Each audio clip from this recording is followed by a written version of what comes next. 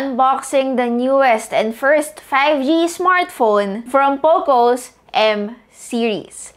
Hey guys, it's your Mary and welcome back to my channel. Today, we will be talking about the newest Poco M3 Pro. I'm actually quite excited but curious at the same time on what this phone can offer since it's their very first phone guys na gagamit ng MediaTek. And we all know when we say value for money, one of the brands that will come up to my mind talaga is of course the brand Poco. So without further ado, let us now proceed to our unboxing. It's your usual Poco packaging. It's all yellow with of course the very subtle branding in the middle. With Poco M3 Pro 5G on the side. And of course, sa ilalim ang nakalagay with easy access to Google Apps you use most. Before ko makalimutan, the variant that we have right now is the 6GB RAM with 128GB of internal storage and yung kulay natin ay yung black. Of course, I want the yellow one or yung blue na meron tayo but unfortunately, ang dumating sa atin ay yung black. So we got this smaller box and inside, let's see kung ano ang laman. Of course, we have yung ating panundot or the SIM ejector tool. The unit that we have is, of course, the retail unit already. So expect nyo na na yung mga laman sa box natin ngayon ay yung mga makukuha nyo kapag bumili na kayo. Meron tayong paperworks and of course, the Poco stickers. Take note guys, unboxing and first impressions pa lang ito. So I don't really have that much experience with the phone since kakakuha ko nga lang siya today. At syempre, ang ating jelly case. Beneath that, we have the phone itself, of course, and ito yung mga key features na dapat nyong malaman, which is, of course, the chipset that is being used, MediaTek Dimensity 700 with dual 5G support, with 90Hz Full HD Plus display, a large 5,000 mAh battery capacity, and of course, a 48 megapixel triple camera setup. We got our 18 watt fast charging power brick, and the USB Type-C charging cable. To be specific, ang tawag sa kulay na ito ay Power Black. And actually, if you guys are not into black, meron pa siyang ibang kulay katulad ng yellow and blue. So, let's have a very quick phone tour. Sa ibabaw, meron tayong headphone jack, meron tayong IR blaster, the secondary microphone, and I'm not sure guys, pero I think this is a light sensor. On the right, we have of course the volume rocker and the power button that doubles as a side-mounted fingerprint sensor. Sa kaliwa niya, nandito located ang ating SIM tray. Meron tayong hybrid SIM tray dito. You have a choice kung dalawang SIM card ang lalagay nyo or kaya naman isang SIM card at isang micro SD card. Do take note, meron naman din siyang rubber gasket sa gilid ng kanyang SIM tray for, you know, extra protection when it comes to some splashes of water. Huling-huli, sa ilalim meron tayong isa pang microphone, USB Type-C port, at yung kanyang speaker. Okay, so design-wise, actually, it's a phone na very prone to fingerprint. And makikita nyo naman, puro smudges na yung ating phone. Glossy talaga yung likod niya. And it's the type of glossy finish, guys, na unting dampi lang ng kamay nyo.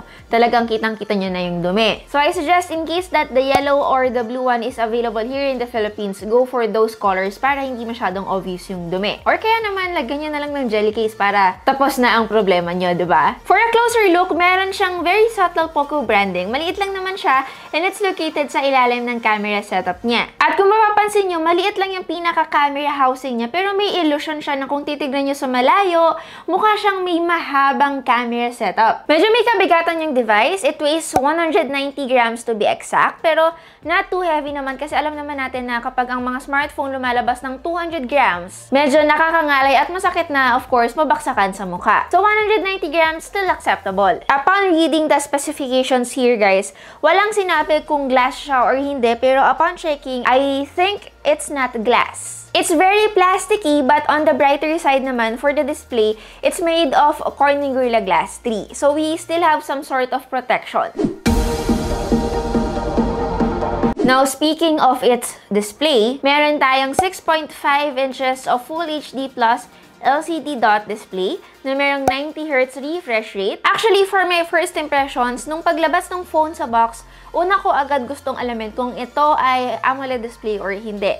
And hindi ko pa alam yung specs niya. Tinignan ko yung display, akala ko talaga AMOLED siya. Ganun ko nagustuhan yung display na meron tayo dito sa Poco M3 Pro. Ganun siya ka-vibrant. Probably it's because of the wallpaper, but yeah, the blacks fooled me a little bit. Out of the box, of course, naka-regular standard refresh rate siya para makapag-save tayo ng battery. So you have to go to the settings, to activate the 90Hz refresh rate. It also has a dynamic refresh rate switching with, of course, a punch hole sa ibabaw bandang gitna. And by the way, yung ating front camera ay 8 megapixels. Now, since we are talking about the camera, pag-usapan na natin yung kanyang rear camera setup. Meron tayong 48 megapixel para sa kanyang main camera, a 2 megapixel macro camera, and a 2 megapixel depth sensor. So we have your typical, you know, triple camera setup that we usually get from a higher budget phone to mid-range devices. So yes, hindi po porket meron tayong pro name or pro branding, ay ibig sabihin nun ay very pro phone na yung meron tayo na kayang lumaban on the flagship lineup. So yes, wag tayo masyadong ma-confuse when it comes to its naming. So let me give you a very quick camera tour. While opening the application, of course, we have the photo mode. On the right, we have the portrait mode wherein we can adjust the bokeh from f1.0 to f 16. We can also use the beautify and, you know, choose a few filters. Going sa more menu niya, meron tayong night mode of course, a 48 megapixel option, the short video, panorama, slow motion, and time-lapse. When it comes to the night mode, pwede natin magamit ang night mode using the main 48 megapixel camera but not on the 8 megapixel front camera. Onto the video mode, pwede tayo mag-shoot hanggang 1080 at 30 FPS, including the front camera. And lastly, of course, we have the Pro mode. Sa ibabaw, onto the upper rightmost, meron tayong parang lines. Ito, meron pa tayong iba pang menu katulad ng settings, movie frame, grid lines, macro mode, tilt shift, and timed burst. Of course, we also have filters for the main camera, AI camera, HDRA and HDR, and of course, the flash. So guys, let me share with you yung mga photos that I took using the Poco M3 5G today. And let me know your opinion about the photos and kung may mga questions kaya about it. And I'll be answering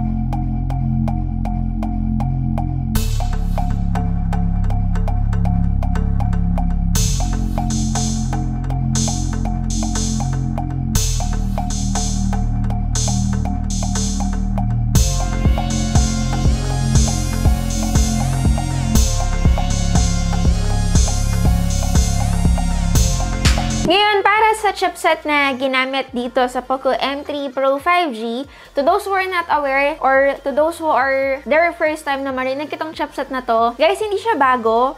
Ginamit ito ng ibang brands, but I think this is the first time na ginamit ito ng Poco series. Ulitin ko, it has the MediaTek Dimensity 700 na merong 7 nanometer processor, octa-core CPU up to 2.2 GHz, and of course, again, we have a 6 GB RAM na merong 128 GB of UFS 2.2 storage.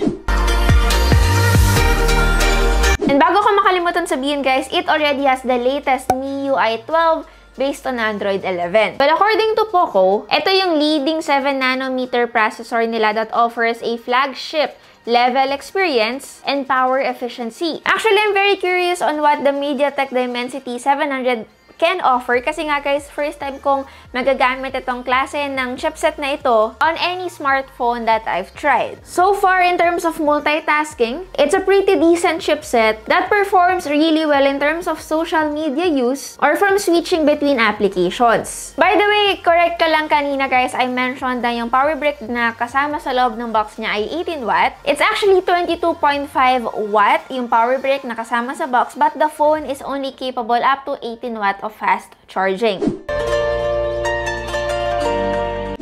Since we are already talking about charging, kanina guys na-mention ko na meron nga siyang 5,000 mAh battery capacity, which is actually quite reasonable kung bakit medyo may kabigatan yung device. According to Poco, meron tayong dalawang klase ng variants that will be available in the market. It's either the 4GB RAM or the 6GB of RAM. And nag-upgrade, kung mapapansin nyo yung kanyang storage, from 2.1, we now have a 2.2. So meaning, mas magiging efficient at mabilis ang ating reading and writing. And trivia lang, alam nyo ba guys, na first time rin yata ng Poco na maglagay ng higher refresh rate on their M series. So yes, I'm very curious talaga guys on what the Poco M3 Pro 5G will offer me on the following days which is why guys kaya dapat abangan nyo yung ating full review and of course it's official retail price here in the Philippines and and of course para malaman na rin natin if it will be released here in the Philippines or not. Pero feeling ko ma-release naman siya guys. Siguro antay lang tayo ng after 1 to 2 weeks. So overall guys, for me, Poco M3 Pro 5G is probably you know, one of the phones that I can recommend in terms of smartphones na magandang gamitin for your everyday use. It may not have an AMOLED display, but I really appreciate this phone for having a higher refresh rate and of course, a 5G ready chipset. Anyway, early verdict pa lang din naman natin ito. So yes, that is it for our Poco M3 Pro 5G unboxing and hands-on video. So do take note, this is just my first impressions if kulang, kasi nga, hindi pa siya review. Again, it's Tara Mary and see you on my next video. Bye guys!